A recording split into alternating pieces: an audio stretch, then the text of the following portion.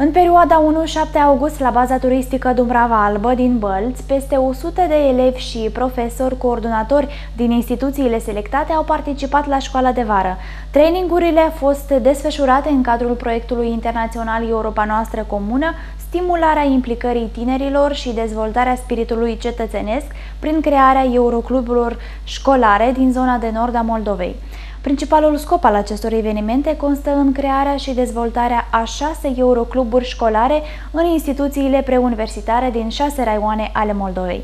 În cadrul trainingurilor și atelierilor facilitate de experții polonezi și ucraineni, participanții au fost instruiți în formarea conștiinței europene prin promovarea în rândurile tinerilor a cunoștințelor despre Europa, dezvoltarea la elevi a spiritului de colaborare a eurocluburilor școlare din țară și de peste hotare. Am petrecut o săptămână în care am fost încadrați într-o serie de traininguri și seminare privind necesitatea sau avantajele integrării europene. Folosind aceleași metode europene, personal am am înțeles și am învățat unele metode de care nici nu am știut. Adică partenerii europeni uh,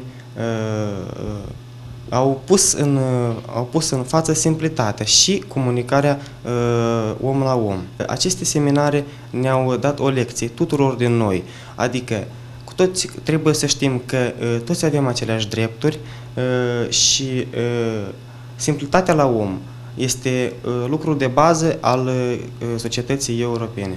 Uh, primele zile am vorbit cu o, o echipă de uh, polonezi uh, privind comunicarea uh, verbală, non-verbală și uh, așa mai departe.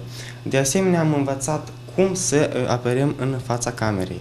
Uh, următoarele două zile am uh, efectuat lucrări asupra proiectului. Am învățat ce și ce reprezintă un proiect.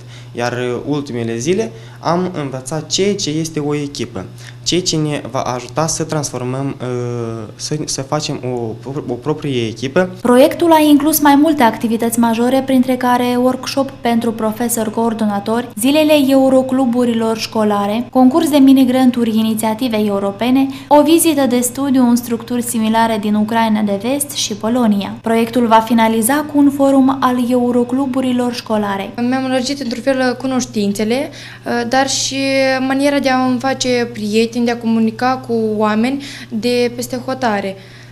Și pentru mine a însemnat foarte mult acest lucru. Este foarte important să știe a vorbi, a comunica într-un fel anume, cu manierele lor de peste hotare, fiindcă noi, moldovenii, avem un obicei, ei au altul. Echipa care câștigă, adică noi, clodineni, dacă vom câștiga, vom avea premiu bănesc de 1000 de euro, iar echipele care nu vor câștiga, dar se vor plasa pe locuri mai mici, la fel vor avea premii bănești, numai că în sume mai mici, în cantități mai mici.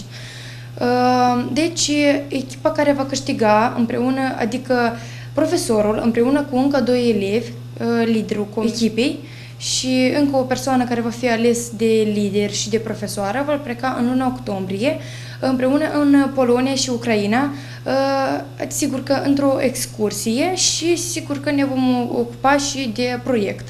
Precizăm că Eurocluburile școlare este o formă de cooperare între profesori, elevi și comunitate în interesul promovării de cunoștințe cu privire la valorile europene. Proiectul se realizează în cadrul programului polonez de cooperare pentru dezvoltarea al Ministerului Afacerilor Externe al Republicii Polonia de către Fundația Terra Humana, Varșovia, cu participarea direcțiilor învățământ, tineret și sport din raioanele Dondușeni, Drochia, Fălești, Glodeni, Râșcani și Ungheni.